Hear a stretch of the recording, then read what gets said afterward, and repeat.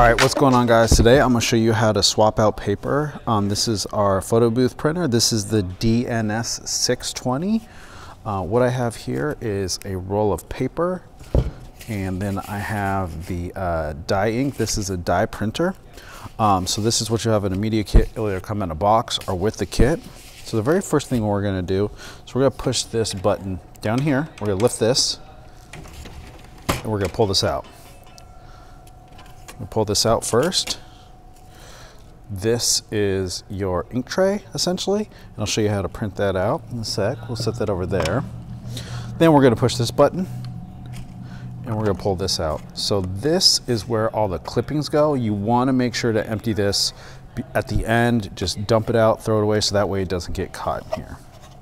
We're gonna set that over there. Then we're gonna pull this out. So this is gonna be your media. This one's almost done.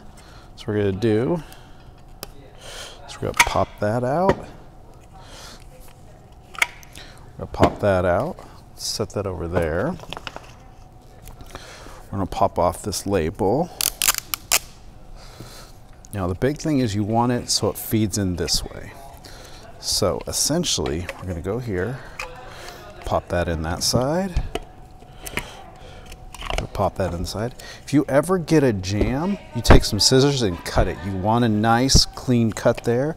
So that way when you pop it in here, so we're gonna do a little bit, we'll pop it in and then in a little bit, we'll feed that through. So take this. Now we're gonna take the tray. Let's get that in here. And so you see how this tray is. So we have the almost looks like a little nipple side, and then you have this big roller that's gonna be on that side. So we're gonna pop this out.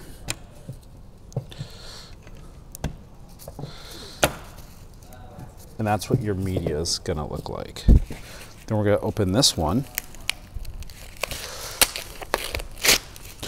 Let's get this out of the way.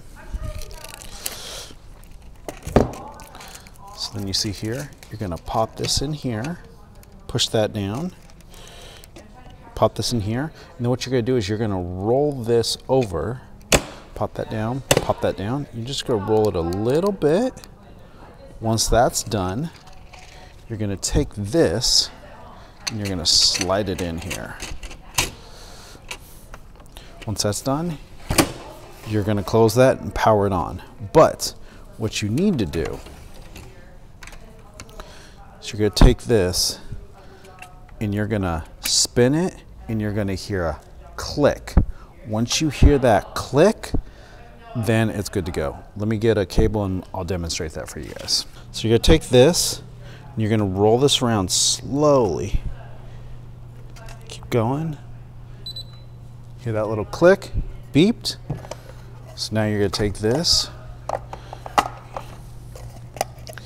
you put the tray back in, you're gonna close this, you're gonna close that. Here it beep goes off. Wait a second. So now it's gonna do some test prints.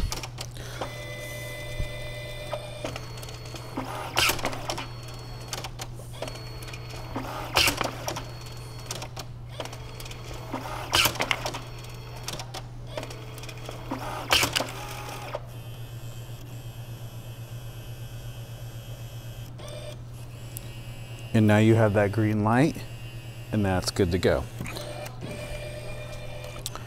So when you're getting down at an event and you're getting low, you can swap it out. It doesn't have to be the bare minimum, but we like to go to the bare minimum.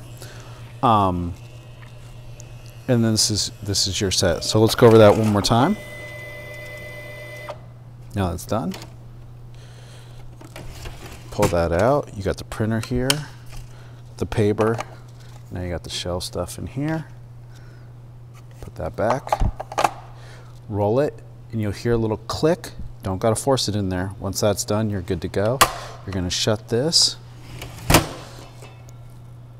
and they'll redo everything, and everything is good to go. All right, so this is a DISA printer. So you got your paper. This is your whole media kit.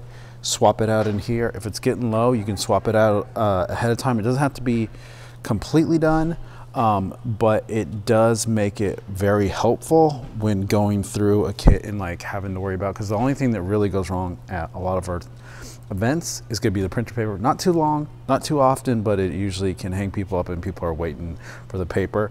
Um, so we usually like to swap it out. So that's everything that I have on the printer. If you have any questions, uh, leave them in the comments below. My name is Alex with DJ Cutt Entertainment.